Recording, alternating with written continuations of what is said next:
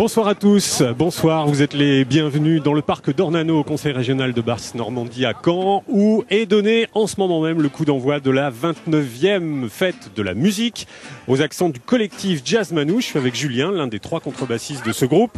Pourquoi Jazz Manouche? Ouais, bah, euh, faut nous laisser un peu de temps, là, vous allez tout de suite comprendre. Euh, donc, en fait, on travaille euh, la musique de Django, la musique de Django Reinhardt et tous les standards. Donc, voilà, le jazz manouche. Et alors pourquoi collectif? Alors, ça, c'est pareil, mais à l'image, j'imagine que ça se voit très bien. Donc, euh, là, je crois qu'on est 21 ce soir, quelque chose comme ça. On répète toutes les semaines. Et puis, euh, on sort l'été, et tous ensemble, comme ça. Vous vous retrouvez une fois par semaine, c'est ça, avec tous les niveaux de musiciens en fait. hein. Ouais, c'est ça, parmi nous, en fait, il y a des musiciens euh, dits amateurs, d'autres dits professionnels. Donc, euh, les dits professionnels encadrent ceux qui sont dits amateurs. On répète comme ça toute l'année, les répétitions sont hebdomadaires et puis ouvertes à tous. Et euh, du coup, en fin d'année, euh, quand l'été et le soleil reviennent, euh, on, on sort montrer ça. Et la fête de la musique, c'est une occasion évidemment de vous montrer auprès du public. Une- la meilleure des occasions.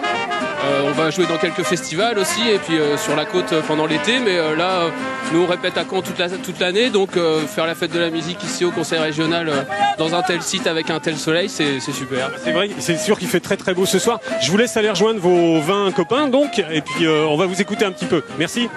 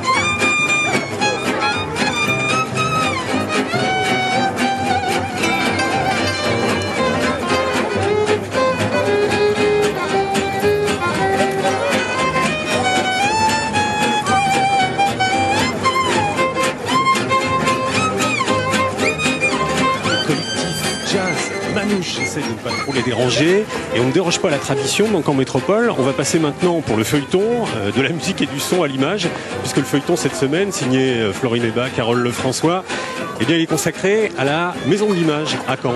À tout de suite. Depuis cinq ans, la Maison de l'Image fait office